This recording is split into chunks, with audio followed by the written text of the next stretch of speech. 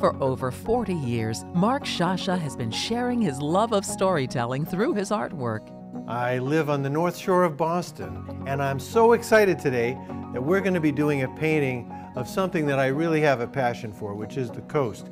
A nice sunny day with shimmering light across the water and lots and lots of texture in the sand and in the foliage. By sharing his special blend of storytelling, passion, and painting, Mark's goal is to help you discover how to paint what you love and different ways to make the elements in your work look and feel natural. Learning from such an experienced artist will help you advance quickly and without getting tripped up in trial and error. You can skip the experimenting and incorporate Mark's techniques into your own work right away.